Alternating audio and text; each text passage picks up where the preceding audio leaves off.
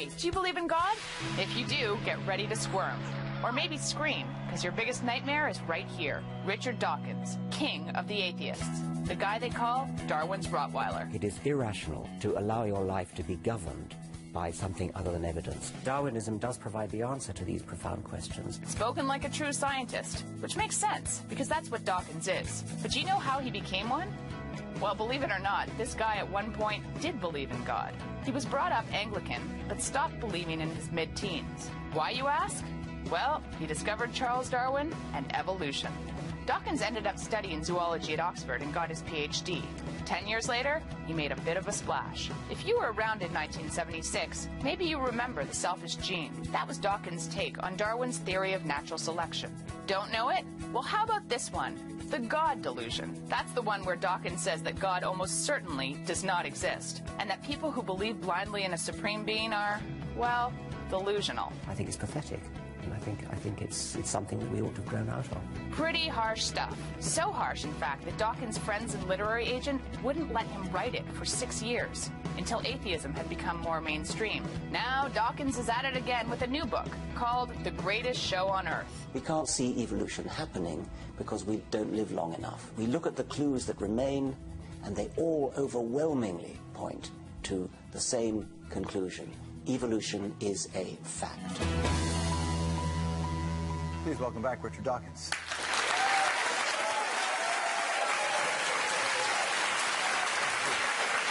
How are you? That is a, um, that is a lovely tie. That's my Galapagos tie, uh, one of my ties hand-painted by my wife. This is a one-off unique, Now, unique did, tie. did you come home one day and she had doodled on your tie, or was that always part of the plan? This was a present, and she spent hours and hours slaving over this. Not a doodle. Not at all. Uh, and, well, the Galapagos Island, I mean, that is a significant, that's significant for Charles Darwin. It was one of the formative places that he visited. He didn't get the idea straight away from that. It came afterwards. He collected specimens from Galapagos, and then later, when he got back to England and the specimens were identified and classified in London in the museums, he then got the idea there's something funny going on here. These animals are all kind of like South American animals, but not exactly. And um, so he worked out that what had happened was that some kind of freak events had blown animals across or drifted across. They'd got to the islands, very unusual thing to happen, and then they started evolving when they got there. And then they, a slightly less freakish event would drive them across to other islands within the archipelago. So within the archipelago, they're kind of much more similar than they are to the ones on the mainland.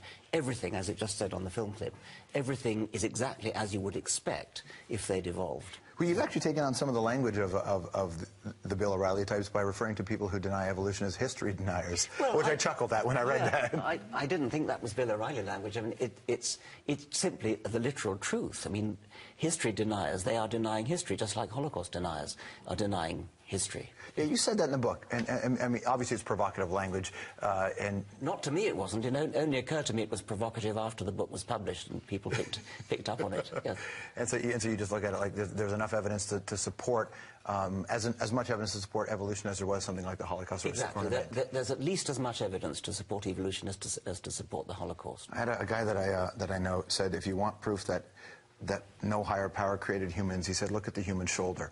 It's so poorly designed that that there's just no way that a higher being would be that dumb as to get the shoulder at the wrong. I'm, I'm in pain in my right shoulder at the Are you? moment, and yeah. The thing though uh, about it is that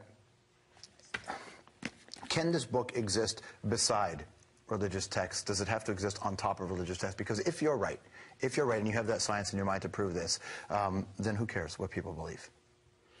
Well, I care a lot because I think it's such an exciting thing. I mean, I think, I think that, the, that the, the, the fact that we exist because of natural selection, the fact that we are cousins of every living creature in the world, the fact that our history goes back nearly four billion years, that's an astounding, enthralling, inspiring fact. And I, I care whether people get that. So in a sense, by denying uh, evolution is missing the point of how beautiful the universe can be. Precisely. It's like, to deny that would be like never, never listening to music, never seeing any art, never seeing a beautiful sunset. It's part of the beauty of existence. When did that song ring true to you? When did you have a moment you went, that sings to me?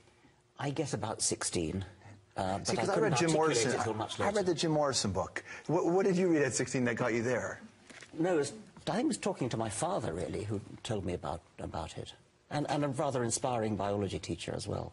You sort of said, this is how beautiful evolution can be. No, they didn't use quite that language. No, I mean, I could have came to that later. As you take this, uh, as you take this book and these stories across Europe now, are you received differently after the God delusion?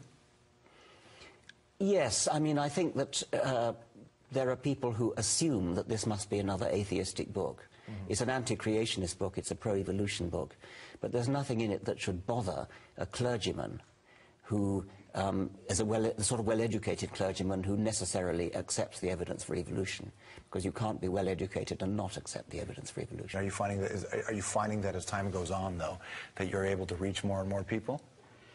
Yes, I think so. I've got to be optimistic about that. I think the internet is enormously helpful. It's completely changed the way humans conduct their affairs, and you can get a, such a feeling for the buzz that's going around the whole of, of human life. You, have been this guy, and I wondered if it ever wears on you. The fact that you, you know, we, we sort of joked about the, the Pope of Atheism in, in, the bio. We referred to you as that. Other people have called you Darwin's Rottweiler, which is also kind of a funny title. Um, well, I'm rather a gentle soul, really. I mean, I don't, I don't really, I don't feel like a Rottweiler. Um, I, I, think a lot of it is that people have read that I'm aggressive mm -hmm. and that I'm strident and that I'm shrill. And they've never actually read anything I've written. They've never actually heard me speak.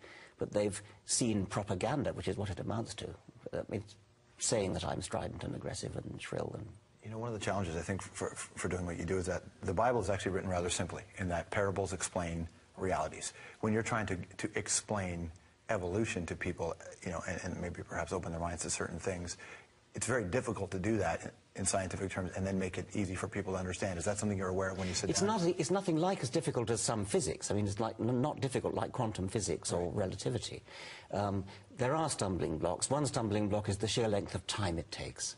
Because we're familiar with the idea that you can change a little bit. You can breed um, pigeons. Uh, Darwin is very interested in breeding pigeons. Mm -hmm. You breed pigeons, and that takes a few centuries. Uh, if you imagine the amount of difference between pigeons in a couple of centuries, and then extrapolate that to 100 million years, 200 million years, the human mind has no grasp of what a million years is, let alone 100 million years is. You just can't get your head around that. And it's important to try to do so, because otherwise you don't understand how you can go from a fish to a human. But you've got a hell of a lot of time in order to do that. When you think of what's been achieved in a few centuries with pigeons or dogs or cattle or, or um, cauliflowers. the thing, I, when I went through the book and I read The God Delusion as well, and I, have talked to people who are, you know, religious people, you know, and there's the, some who just quickly dismiss what you write, and others who are far more open to it. I always wondered about getting through the night, and how does evolution get people through the night? And that just seems to be one of the big reasons why people connect to a religion is the fact that there is more to life than just this. There's no obligation on anything to get you through the night. If you can't get through the night, that's tough. Um,